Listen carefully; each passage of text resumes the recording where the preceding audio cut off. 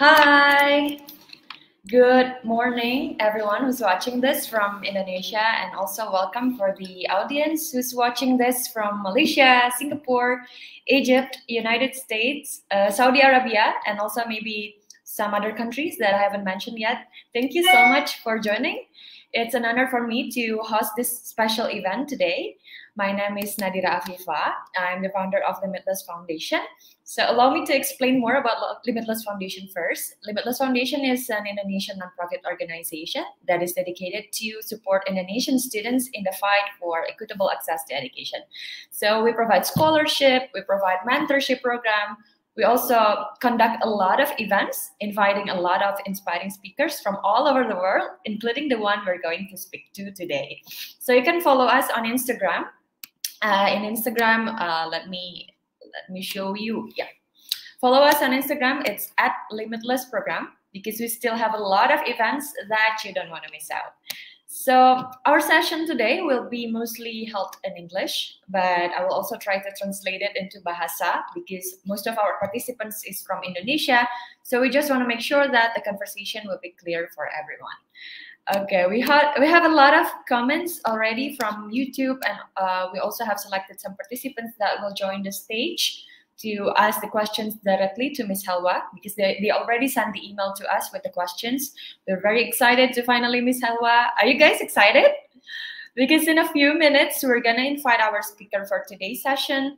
It's super special. It's the author of the first international bestseller, Secrets of Divine Love, the one and only Ms. Helwa. Just so everyone know, Ms. Helwa today will only be present through audio. So I'm going to repeat it again. Ms. Helwa today will only be present through audio. So there will be no video because of the privacy and we respect her privacy. It's totally okay for me because it um, it doesn't influence anything. We can still learn a lot from her. So I hope it's also fine for everyone. So for those of you who don't know Ms. Helwa yet or haven't had a chance to read Secrets of Divine Love before, let me tell you about her. She is an internationally acclaimed, award winning author behind the secrets of divine love. She has inspired half a million readers with her passionate and poetic approach to holiness. She is a poet, she is a writer, and she also has um, Master of Divinity in Islamic spirituality and has been writing for 15 years. And for some of you may already know her from her popular blog, Quran Quotes Daily. Okay. So without further ado, please welcome our one and only speaker, Miss Helwa. Okay, I'm gonna invite her to the stage. Um, all right. Hi, good evening, Miss Helwa. Assalamu alaikum, Nadira. Thank you so much for having me on this beautiful program. I'm looking forward to spending some time with um, with Indonesian readers and um, readers from around the world, but Indonesia especially has a special heart, a place in my heart. I have to say. Thank you so much, Usalwa. Waalaikum salam. Yeah, because uh, we have a lot of Indonesian readers, and they they're very inspired by your book. So, yeah, we we have uh, at least two thousand registered participants, and I believe it's already a lot of people joining us on the YouTube today. So thank you so much for the opportunity, Ms. Helwa. Looking forward to talking to you. Alhamdulillah. Thank you so much. Thank you, Ms. Helwa. So I believe it's already 7 p.m. in your place right now? Yes, in California. That's right. Uh, you're in California, okay. In Indonesia right now it's 10 a.m. So it's it's weekday and it's in the morning. Yet people still very excited to join our talk today. So Ms. Helwa, please allow me to announce some more important things for our audience. Sure. Okay, then. So just to remind everyone, we are going to have a Q&A session in, with the audience later. So if you have any question that you want to ask Ms. Helwa directly, you can just write it down in the YouTube comment section. So we can definitely, definitely see your comments here from our platform. And for the best participants, we have three Secrets of Divine Love and also three Periplus e-voucher. Make sure to upload your experience of attending this event. And please upload it on Instagram and tag at Limitless Program. Okay? Okay, Ms. Helwa, uh, there are so many things that we're curious about. We have a lot of questions for you. But first, how's everything going in US right now? What keeps you busy recently? um, everything's good here. Um, we don't really have seasons, so it's uh, in California, so it rains. Mm. Nice summer season, pretty much all year round. Um, so it's been nice, and I just uh, recently actually finished a, a journal for Secrets of Divine Love. Um, Mm. so wish will be out. Yeah, inshallah. Uh, looking forward to sharing that uh, with readers in the coming coming months. Um, so yeah, just looking forward to uh, the end of this year and in reflection, inshallah. We're, we're really excited for that. Looking forward to it also. So it's actually it's winter in other part of the US, right? yeah, yeah. It's just here. it remains like a very even temperature for the most part um, in in California. Okay then. All right. So I believe uh, let's get into your book. Okay. So Okay. I I believe there are already like thousands or even hundreds of thousands Indonesian readers that already read your book. But just in case some of our audience here haven't had the chance to write Secrets uh, of Divine Love, could you please like give a summary of what is Secrets of Divine Love actually? That's a great question. Um, yeah, so this book essentially is a, it's diving into the spiritual essence of Islamic tradition. Mm. Um, growing up, I always wanted to know the deeper dimensions of the prayer um, from the perspective of the sunnah in the Quran, and I wanted to know why we fasted around dawn, or what were some of the spiritual teachings that that really awoke in my heart. And so, I spent the last, you know, like about three years of research and writing Mm. and dived into dozens of books, went around the world, interviewed different teachers and scholars to collect the information that I was always looking for when I was growing up, um, and to put it into one place where my goal was that open this book as my intention is that you would feel your heart inspired in your relationship with Allah.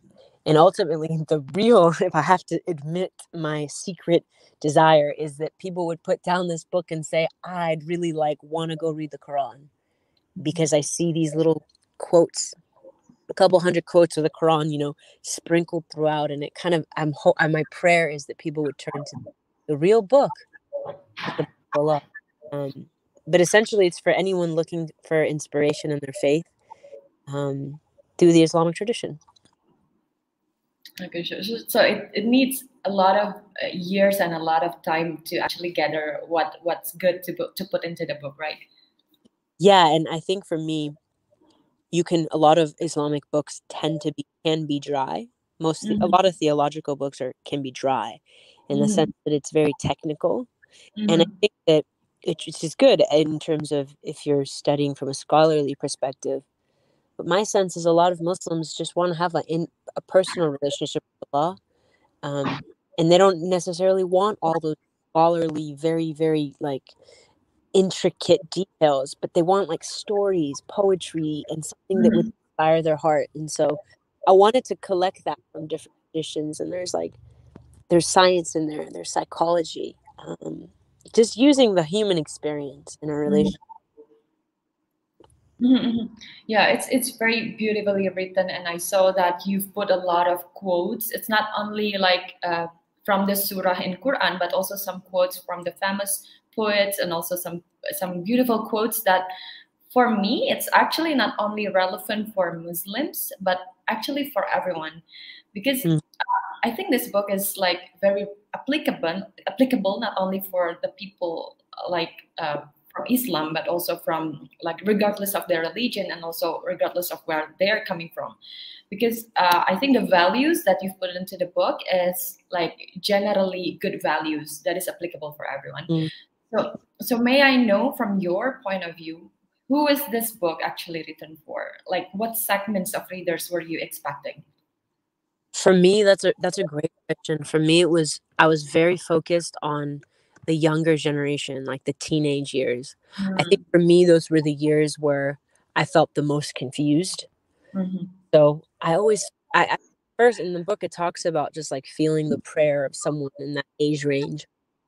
And later in life, I realized, I mean, later as in a few years after the book, I guess two years after the book, it, it made me realize that it could have just been a prayer from my own heart from that period in my life where I was looking desperately for a way to connect to Allah.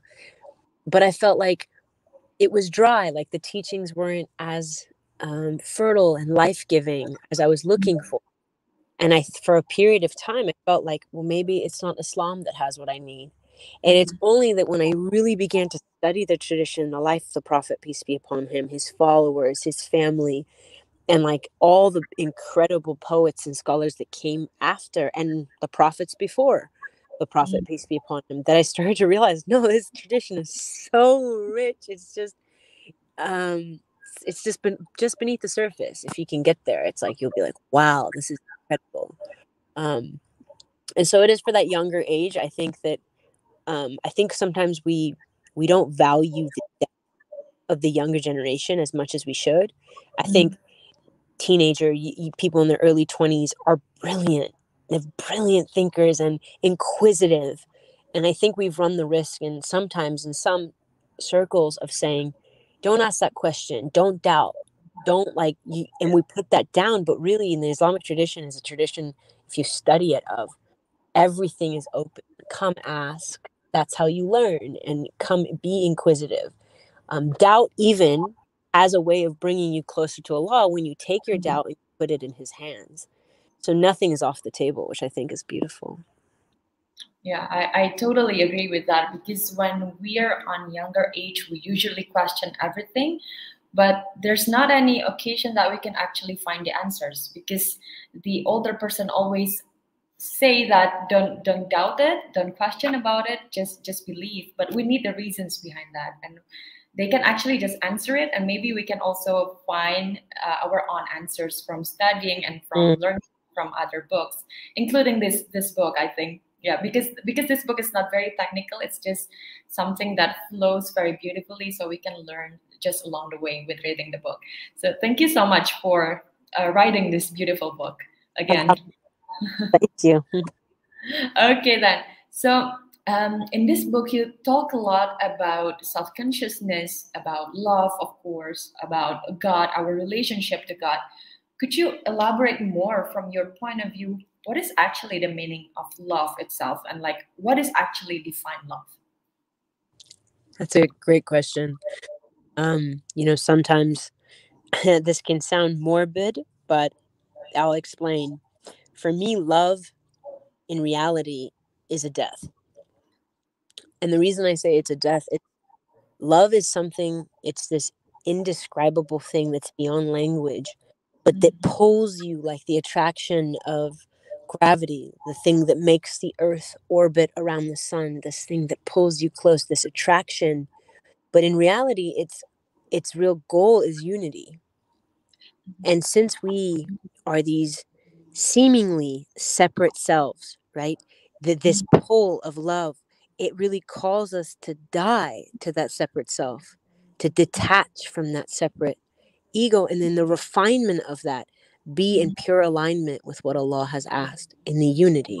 And so, love is the thing that takes multiplicity and brings it together and, and unifies it into oneness.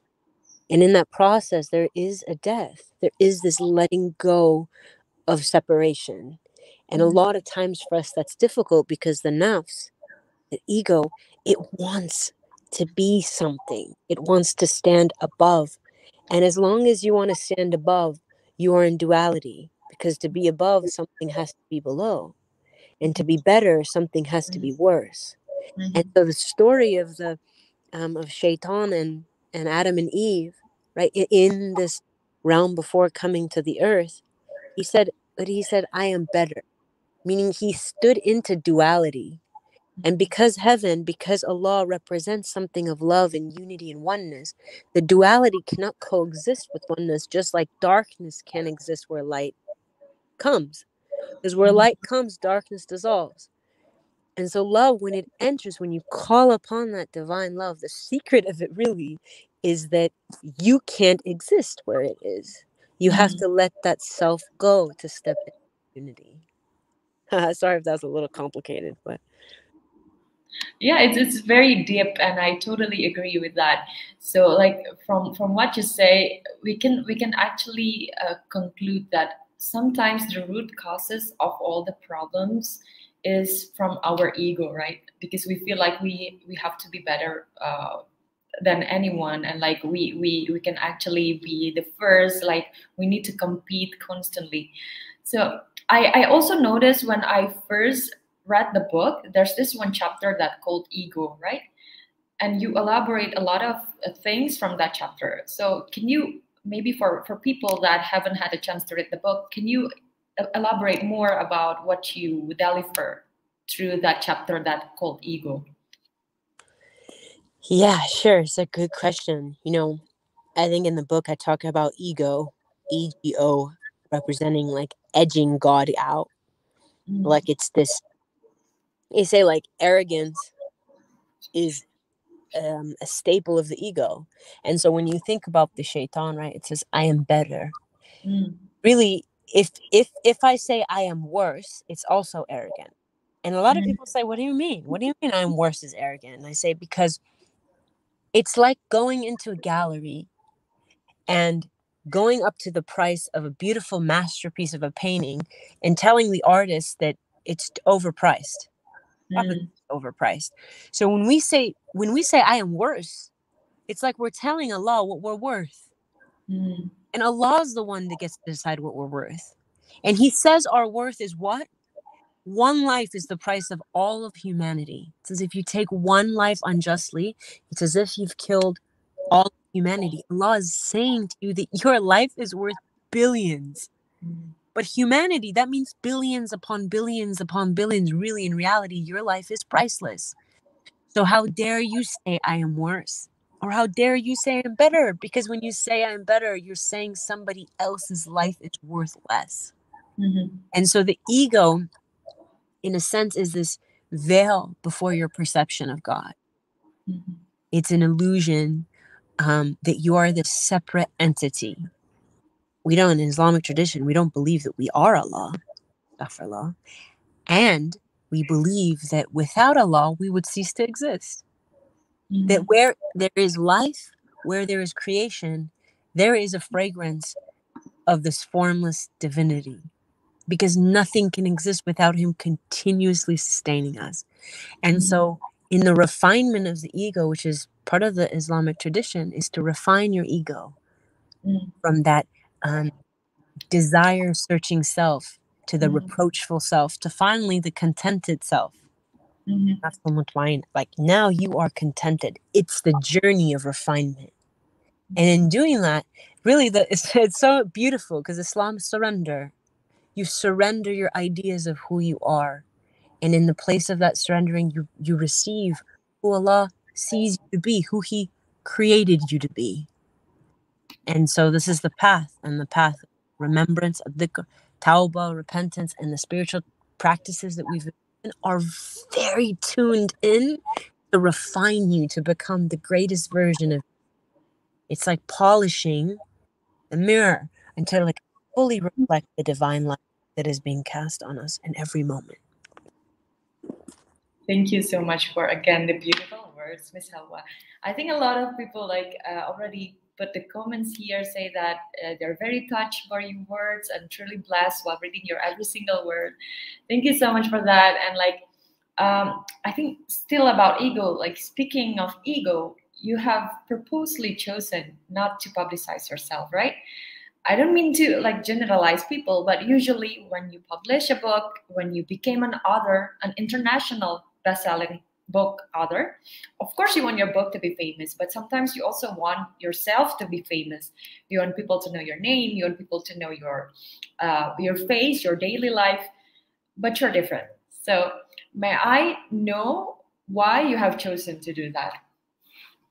Sure. Yeah, that's a it's a good question.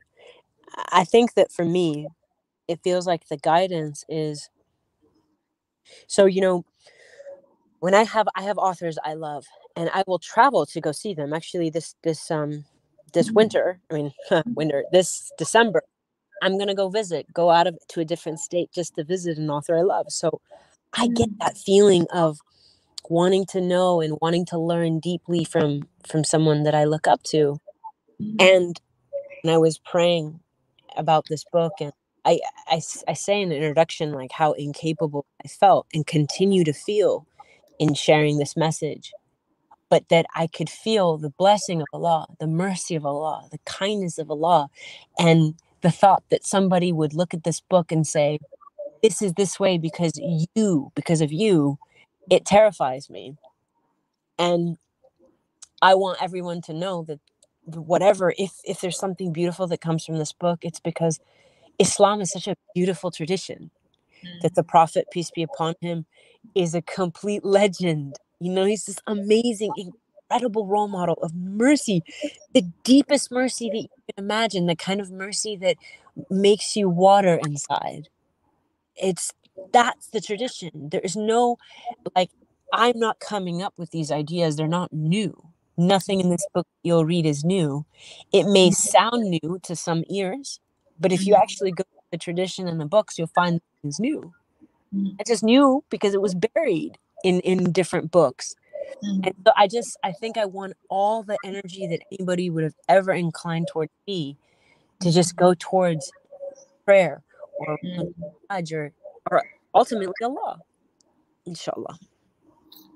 Sure. Yeah. So, so like you just want readers to know that these ideas on the book, it's actually not yours. It's not new. And if you want to know more about these ideas, you should look up to to Allah, to to Quran, not to you, not to Miss Helwa, right? Right. Absolutely. And I think for a lot of readers, like to remember, the tradition is and this is just a bits and parts parts and summaries of how rich it can be. So for every paragraph that you you're like wow i want to know more i'm telling you there's so much more. And in the beginning of the book i say something like i felt like a lot like just this guidance. It's like that allah is gonna write this book through me. And people were like what do you mean by that? I'm like what i mean by that is we can do nothing without him. Mm-hmm. and to be acknowledging I'm not a prophet. Allah. I'm mm-hmm. not a messenger. I'm a nobody. But the reality is, Allah is speaking to us in every moment, every single one of us. And if we can just be silent enough, we can we can hear His presence. And and I have to just say something really quickly. Is a lot of mm-hmm. times people say, you know, actually, there's this um, famous reporter Dan Rather, mm-hmm. and he interviewed Mother Teresa. He's like a famous, you know, activist in Calcutta, and she was a nun. And he asked her, you know, when you pray, um, what do you say to God? And she said, I. And he said, okay, well, what does God say to you? And she said, he listens. And he said, what do you mean? You listen, he listens. Who's speaking? And she said, if you understand this, I can't explain to you because in the reality is in every moment is both speaking and listening to us simultaneously. Mm-hmm. that in every moment that he's with us in every step that we take that nothing can happen without him.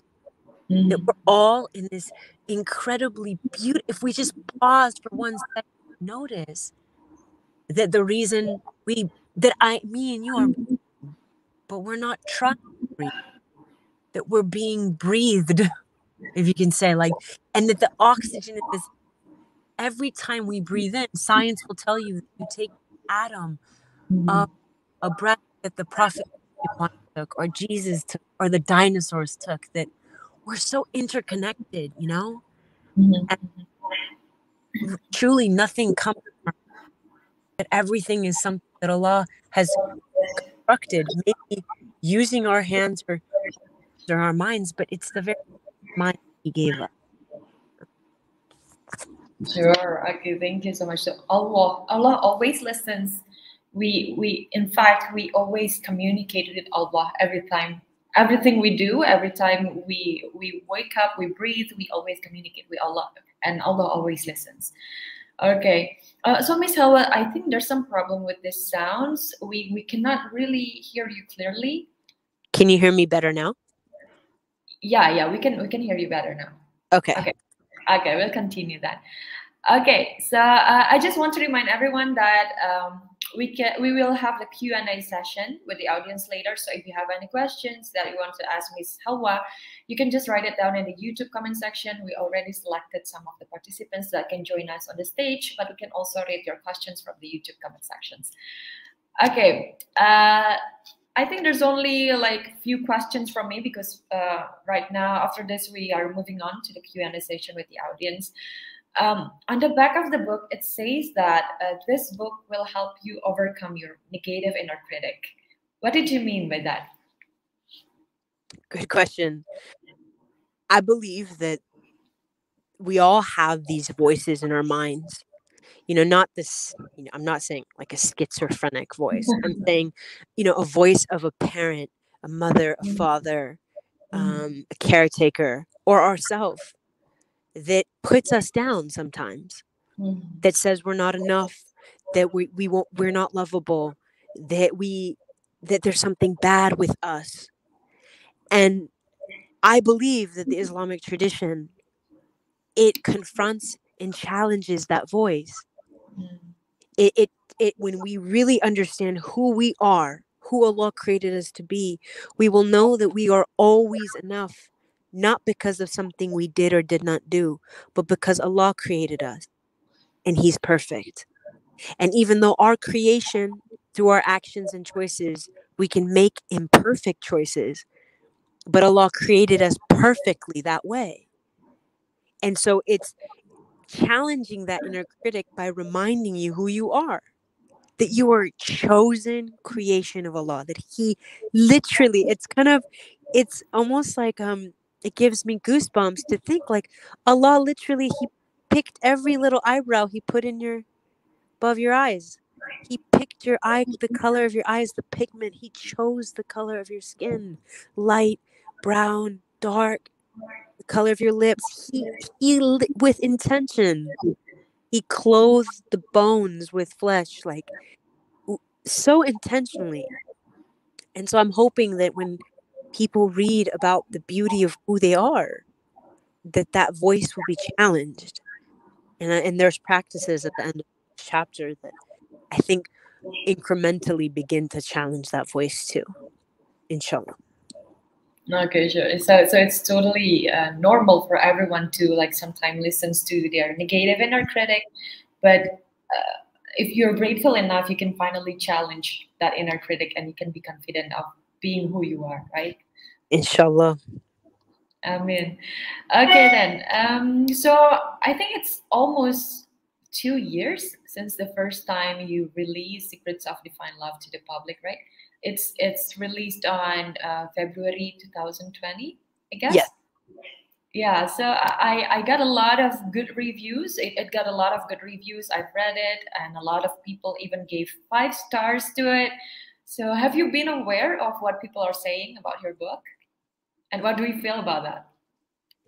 Yeah, I um, you know, I was amazed. I was amazed and continue to be amazed by the reception of the book and then there's a part of me that's that's not amazed because it's the quran. I mean there's so much in the of the in the book that's the quran. There's so much in the book that's the hadith. Like the prophet peace be upon him words alone is enough to amaze. And then the quran and teachings and sayings from followers and the family of the prophet it's that alone without even any of my words in it alone would be amazing you know? So I think I credit that a lot. And I think that there's something to be said about the light of Allah's words. It's like whenever uh, it was hard to explain something, knowing that you could go to the Quran and you would find something in it that was perfect. Even if it was a prayer and it seemed unrelated to the topic, but something about that prayer just it gave you just enough light to be able to make sense of something. And so in a sense like I'm completely um surprised that I was chosen to write this book because I think anybody could have wrote written it. I'm just amazed by that. I'm grateful for that. I because and I think one of the things to say is I am intimately um in connection with my incapability as a writer, as a um researcher. I know my lack lack in my inabilities. That's why it's all the more amazing to me because I can see what I'm capable of. And so I can intimately see how many times Allah stepped in and how often he his mercy filled in the gaps whether it was bringing someone of deep knowledge or bringing a life experience i can see that and for that i'm grateful and the words that people offer i'm always reminded that what we say about others is really just the reflection of what's inside of us and so in that when i read these beautiful reviews i'm just reminded of how many beautiful people there are in the world and i'm happy that they're connecting with their faith in the way they've always carried but maybe didn't access before. So I say alhamdulillah for that. You you've been very humble because you're you're absolutely a very good writer. You've been writing for 15 years and like you you can collect all of these beautiful words and make it into a very beautiful book.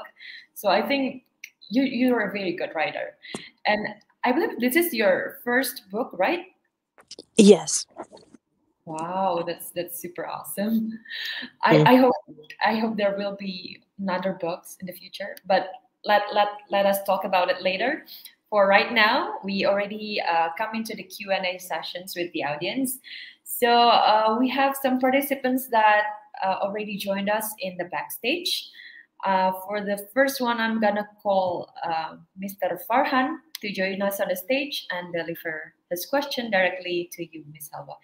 Okay, so I'm gonna invite Miss Farhan, Mr. Farhan, sorry, wait. Yeah, okay then.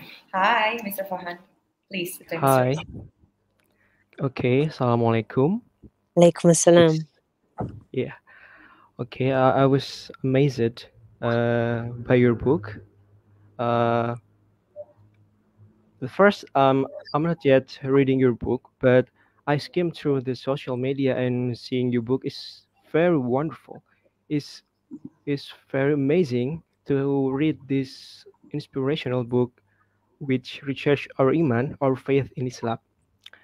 And and after I read a few lines from it, I became more aware about the amazing from the Quran and the amazing how God created us and made us feeling more worth and not worthless worthless at all okay and my question is i want to know what is the obstacles that you face until the book is published? Because i know there is so much different in culture and point of view in there in california especially. And I want to hear about what's what is the most uh, drive uh, what is the most motivation that drive you wrote this? And maybe that's my questions. Uh, thank you miss nadira and miss helwa that is. Thank you brother farhan. Thank you so much for your question and your kind words. I would say that one of the main obstacles in writing this book was actually um, choosing what to share because there's so much the islamic tradition is so vast and so for every chapter sometimes i would have 100 pages of notes. And so it was difficult sometimes to discern what to share. But connecting that to the second part of the question which was maybe the motivation of what helped me to strive in writing this book is my eyes were really on a boy or girl 14 15 years old somewhere in the world who is looking for a connection with allah who didn't feel good enough didn't feel like they they just felt bad like they didn't know how to have a connection with god and and so my eyes were on him and her so when i would really struggle i would tune in and i say this it sounds strange for you but it's very strange for me too because i've never had an experience where i felt someone's prayer for something that I was written to be a part of creating. And I would feel that and it would fuel me because it would remind me of how powerful that prayer was. And so that's why part of that's the secondary reason why my name's not on the book is because I feel like the prayers made for a book like this. is like owns part of this book you know and that it, that fueled me it, it energized me to like get past the obstacles of wor- having work and trying to find time to write this book and and so the real motivation became hope hoping inshallah that i could be a part of the answer of a prayer. And since then it's really remarkable because i was a very strange paragraph to put in the book. But since then i've received probably dozens of messages of people just saying you know i made that prayer. And it reminded me that we're so much more connected as a human race than we think. If we're just willing to just step into what the guidance or where we feel drawn to and um so the obstacle then became less and less because my eyes were on who I was writing for for the sake of Allah with my eyes on this audience. And so then the, all the information that I couldn't decide between it condensed because it helped me knowing who was going to end up with the book. So Ms. Helwa, if I can add another question, how many pages were, were it actually supposed to be?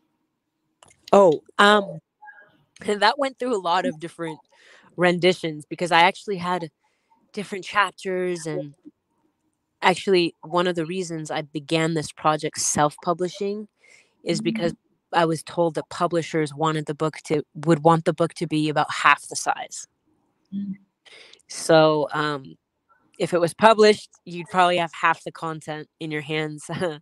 but um it and that's one of the reasons to be honest I wrote this journal is because I went back through every chapter and asked the questions that I would ask my friends in reflection about Islam and my relationship with Allah and and added more stories and actually in the journal there's more a few personal stories um, of ways that I came to understand like the meaning of Hajj and um, the Quran and some relationships with death. Um, so yeah, so I, I always like I'm like, oh, I want to, I just want to add one more chapter. Can I change the book? Can I add more? So inshallah, that just means that there'll be another project in the future if Allah wills. Sure, excited to hear that. Okay, thank you so much, Mr. Farhan. All right, we're gonna invite, um, right now we're gonna invite Miss Sawidia. Uh, right. Uh, okay, hello, I'm so sorry. I'm at work, so I cannot uh, turn on my camera. Uh, No worries. Hello. Assalamualaikum. Waalaikumsalam. I want to ask, like, uh, I always think that I have to change the world, but I push aside the importance of, like, changing someone's world. So your book has brought me to think many perspectives about Islam, and definitely you changed my whole world.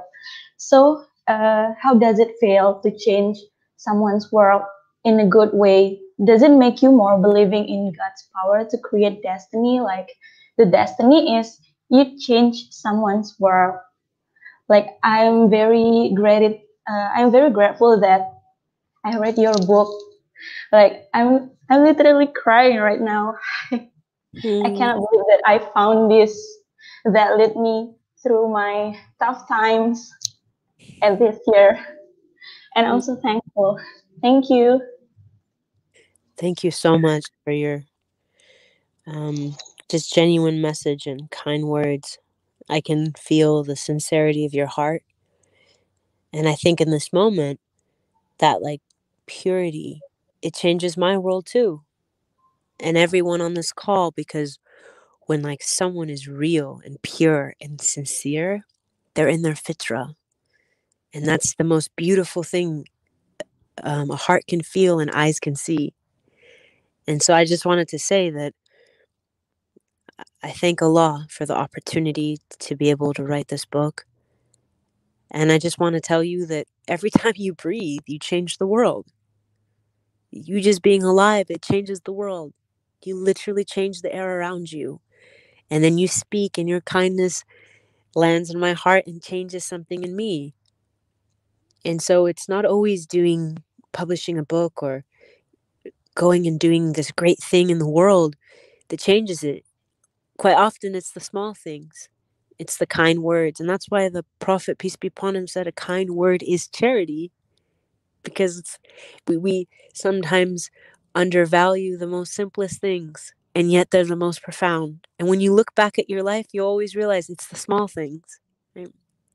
So I just wanted to thank you for the reminder of that. And um, praying for your very beautiful and sincere heart. Thank you so much. It touched me. Mm. And thank you for this opportunity, Kak Nadira. Thank you, Sawidia. I hope this answers your question. All right. Uh, right now, uh, we're gonna invite. Before moving on uh, to the questions from the YouTube comment section, we have Mystica to deliver the question directly on the stage. Um, all right, please, Mystica.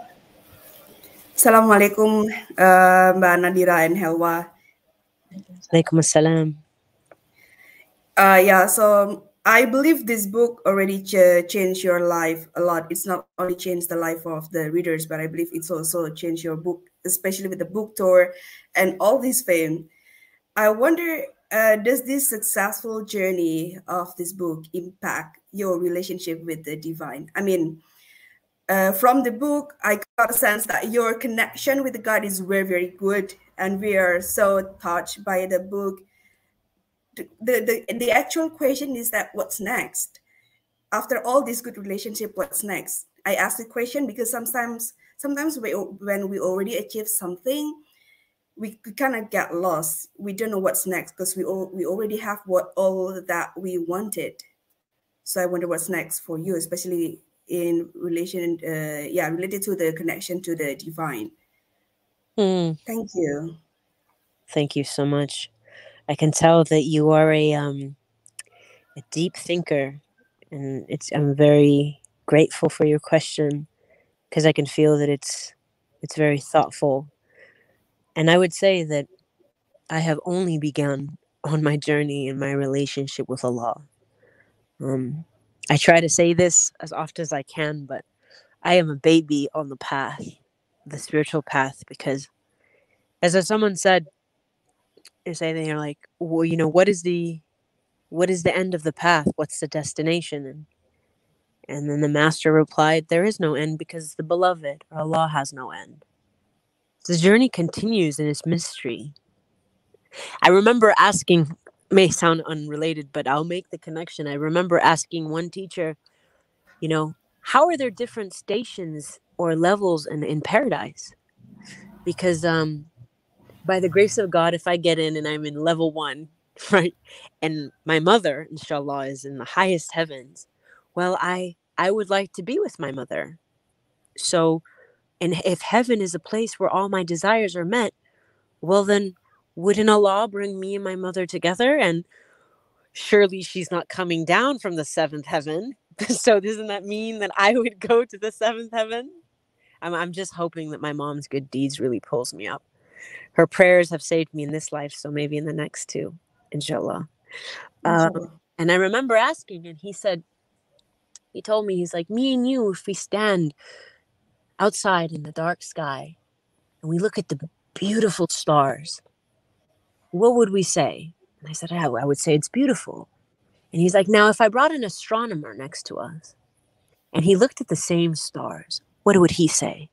I'm like, well, he would probably talk about the constellations and and then the way the stars work and how the stars are birthed and how stars die. And he's like, and he's like, but we're looking at the same sky, right? And I remember thinking that no, no one know. I mean, he does. I don't think he felt like he knew, and I definitely don't know what the levels of heaven are. But that two eyes, two two pairs of eyes next to each other could look at the same thing and see something totally different right based on what Allah has given them. And so on this path, I am such a baby. And I may be able to just look up to the sky and someone else is still looking at their feet, perhaps. But wow, is there so much sky to see and experience? And so I think the journey has just begun. If anything, I haven't achieved anything. It just begun. Even in writing a book, and some people say, oh, there's this level of fame, and now this. Now, for me, it's how can you serve better? If you have ears that are listening Is there a message that you want to say? Yes, I have a message about anxiety and depression. Yes, I have a message about grief and heartbreak. I have a message about that that Allah has given and shown me through the examples of the prophets, peace be upon them. And so the journey has just begun. And it will always just begin.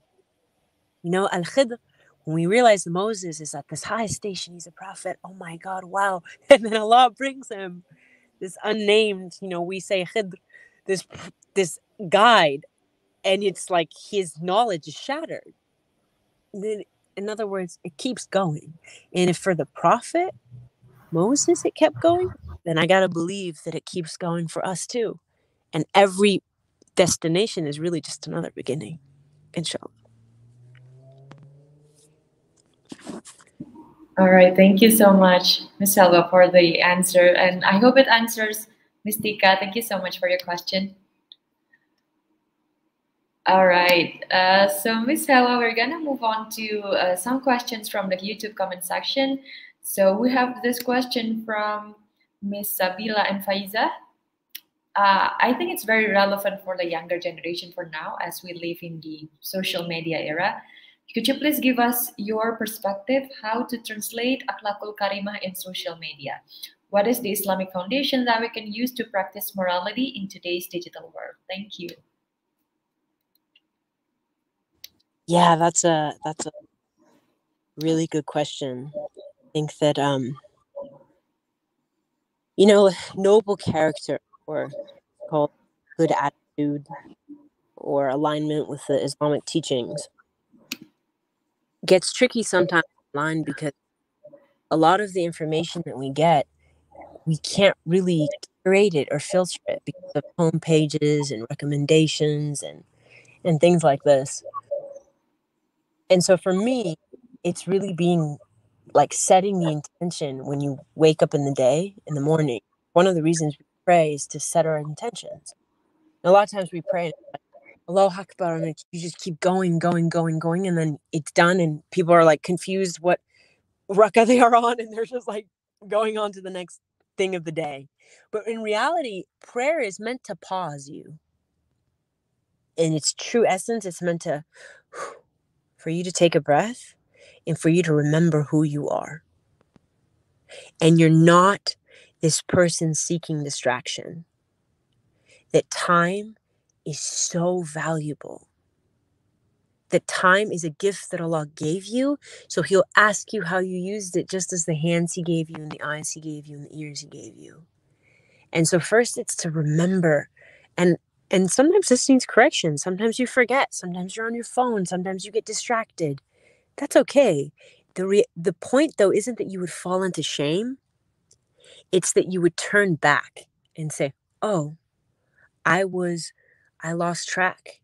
I was forgetful. Allah says, I mean, it says in the Quran, Allah, when I forget, help me remember. I was forgetful. Now I remember who I am. And I'm not this person who wastes their time on things that don't bring or add value to my life. I'm this person that's intentional.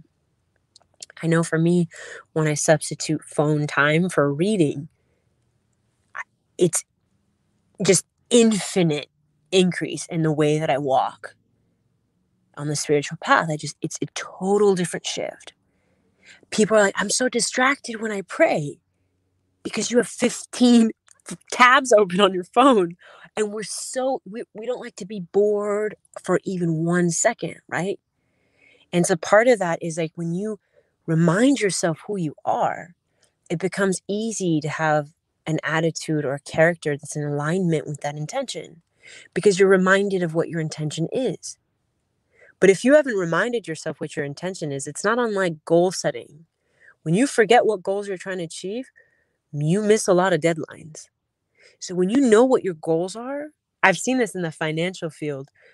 The people that I know, they're like, oh, social media is such a waste of time because it takes me away from learning the things I need to to protect my family financially. But when it comes to it spiritually, we're like, ah, it's not that big of a deal. It's just a picture, it's just a video. And so part of it is just, I'm not telling you to like throw your phone out and like live in a hut in the desert. But like just be aware of who you are. And if you see things that aren't in alignment with who you want to be, then don't look at them. And just as you make those steps, do it gently. Because sometimes people want to make these extravagant changes and then it's not sustainable. Look at how Ramadan is such a good example. Allah knows. He doesn't say, don't eat for five days. It's too much. He said, don't eat 30 days, but every when the sun sets, you can eat. It's like teaching you, slowly refining yourself. So I would do the same with social media. If if it's not serving you, if you don't feel happier, if you're feeling more depressed, then no, like make change and stick to that. But begin with an intention. Who do you want to be today? And who did Allah create you to be? Thank you, Ms. Helwa. So I guess uh, we just have to always remind what we are and like what what our purpose is. And if you are still active in social media, I think just surround yourself with good values in social media as well. So don't be too distracted on it. Okay. Mm. All right. So right now we are gonna invite Miss Sarah Putri to deliver the question directly. Okay. Yeah. Please. Assalamualaikum. Waalaikumsalam.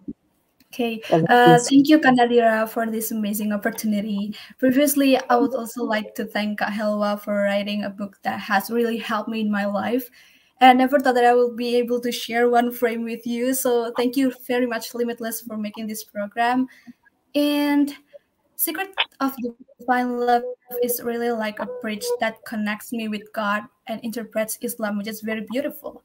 I've only read three chapters, but it totally changed my whole life. I and I can relate with you. You wrote love had always been at the soul of Islam. It was only my heart that had been blind to experience of it. I can relate with that.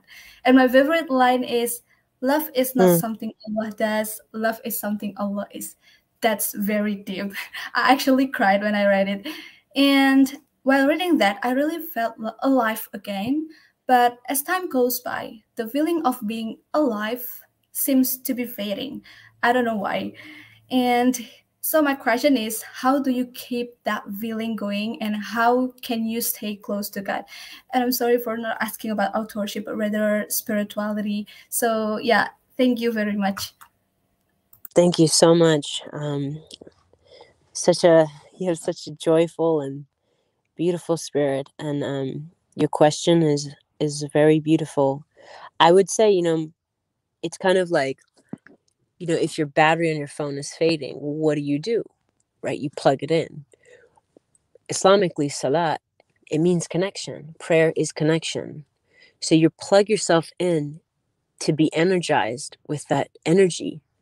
And so it, it's not unlike, you know, when you don't take a shower every day, you start to feel dirty right? Naturally.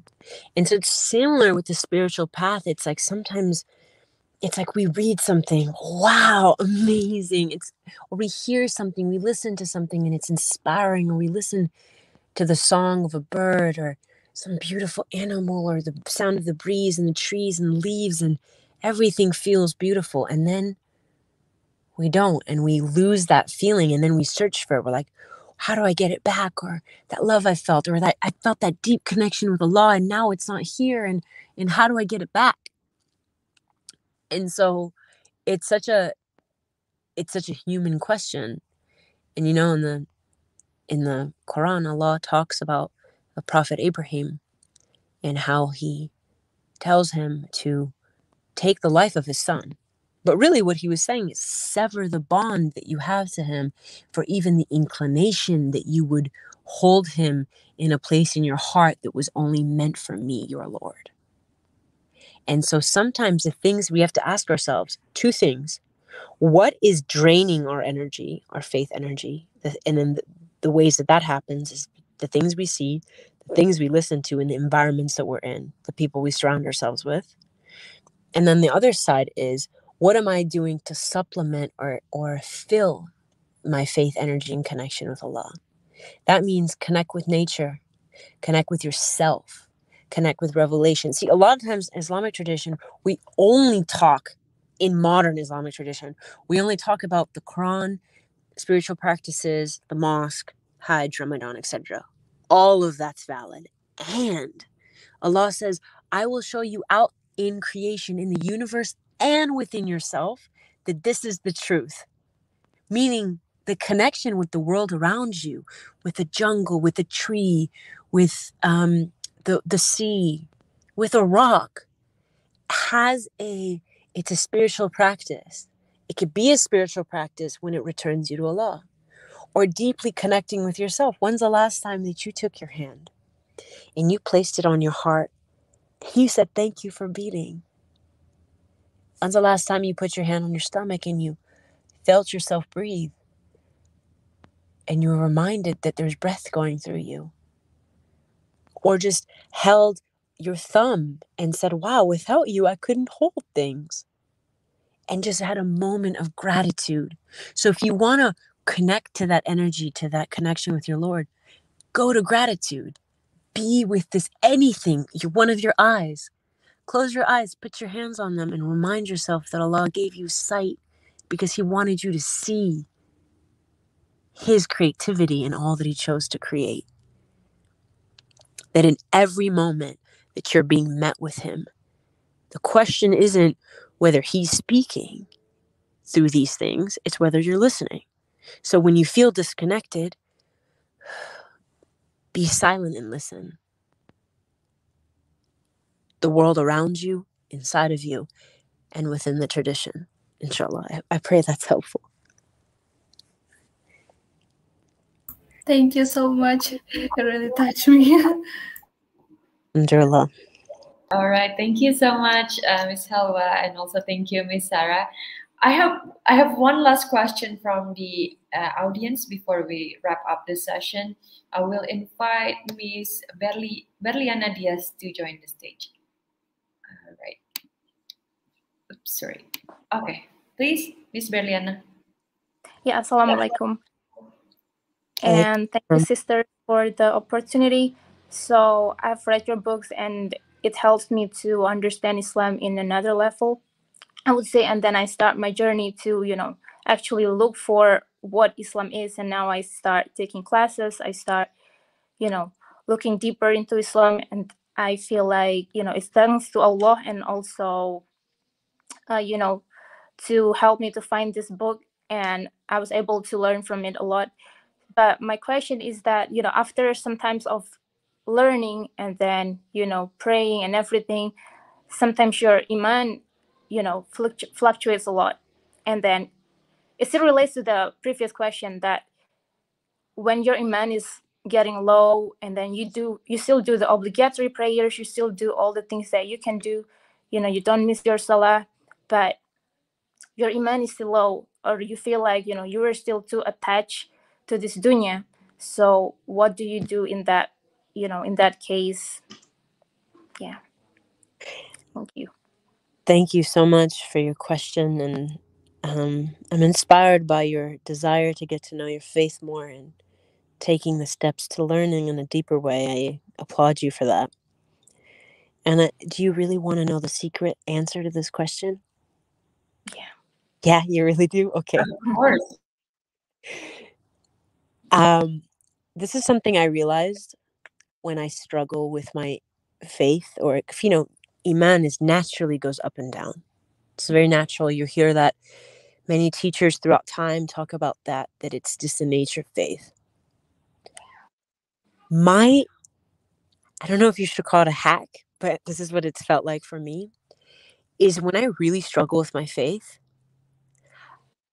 I set out and try my best to answer somebody's prayer. What that means, sadaqah, or quite literally like if i'm in a space and i see that someone is really struggling and i could feel that they're maybe scared maybe they're a little introverted or new and they feel nervous i like try to breathe and if i'm in tune i try to answer that prayer which is for a friend if I'm walking past something, if I hear about someone, if it's something somebody needs, I try to listen. And if I can answer somebody else's prayer, if I can be part of the answer to somebody else's prayer being answered, it completely revitalizes my iman. Why? Because when people pray for you, it is something beyond language. So when you're struggling, go and help someone else who's struggling. When you're in need, go and help someone else who's in need. When you when you're really longing for something, do your best to make that longing come true for someone else. Be a reflection of Allah's qualities of mercy, generosity, and love upon the earth. And it says, the Prophet, peace be upon him, says, Allah show the creation mercy, and the Creator will show you mercy. And so make that a part of your practices when you're like to just walk outside the house. Like if you like Rumi says it one way, he says, walk out your side your house like a like a lifeboat, you know, like a like a lighthouse. You walk outside your house, say, Today I'm struggling with my iman. I'm gonna walk down the street or through the park and I'm gonna Allah, I'm open. You show me a prayer and let me answer it. It may be um, a squirrel and you may just have some nuts. And that's the answer. The Prophet, peace be upon him, talks about the woman who gives water to a cat. Right? Like you so if you struggle, then make that day about answering a prayer of somebody else. It could be a creature, like an animal. It does not have to be human. But I promise to you, like it will change your life. It has changed mine. Yeah, thank you so much for the answer. Sure. Thank you so much, Miss Helwa. That's a very beautiful answer and very practical. We can absolutely apply it in our lives after this. And so, Miss Helwa, um, it's almost an hour. It's already an hour, actually. So, thank you so much for this opportunity. But this will be my last question before we wrap up this session. I heard that you're currently in the process of publishing Secrets of Divine Love in Bahasa Indonesia version. Is that true? And is there any other project that you're working on that maybe you can share with us? That is true. Actually, it's been translated. So, oh, okay. yeah, I'm not, I believe Quanta Books is, it should be available maybe by the end of this year, but if not, early next year. Um, so I'm really looking forward to that. It's something that I almost instantly after publishing it, I was looking for Bahasa translation because Indonesia is is a big part of my story. Um, I did some work in Bali and Sidoarjo and Jakarta, so I like I love it. I love Indonesian people. I love the food. I love your country. So it's the first place on this planet that I felt at home. So I have a very special part of my heart for Indonesia. And um, so I'm looking forward to that, inshallah. When this journal comes out, I'm going to try to get it translated and sent to Indonesia as well. And um, yeah, inshallah. Oh, that's very awesome to hear. I actually got goosebumps listening to it. So thank you so much that you have the Indonesia version of it. I see that uh, there's a lot of comments. I think there's a lot of excitement. Um, for your Bahasa Indonesia version. I'm sure it will be uh, a very great book as well. More people will be able to read it. So thank you so much. And it's super awesome. Again, thank you so much, Ms. Helwa, for being in our talk show. I believe this has been a very insightful discussion for everyone. Everyone is so excited. And we're waiting for your next projects. I hope everything goes well with your plans. We, we will wait for you for your another visit to Indonesia sometimes. Inform us. And thank you so much and have a good night. Thank you so much, Nadira. May Allah have um, make everything easy on you and all the projects that you're doing. And I pray for mercy and beauty and gentleness on your path. Um, as I could feel the the vastness of your heart, it's very special. And I pray Allah always protects you and your family. Allow me. Amen. The good wishes for you as well. Thank you so much, Ms. Helwa, and thank you so much for all of you that uh, has joined our conversation. Make sure to upload your experience of attending this event in the uh, Instagram, okay, and tag Limitless program to win three books and three Periplus e-voucher. Special thanks for our audience that has joined the stage to deliver the questions directly to Ms. Helwa all of that was a very good questions, very great questions. And stay safe, stay healthy, and see you on the next occasion. Bye. Waalaikumsalam.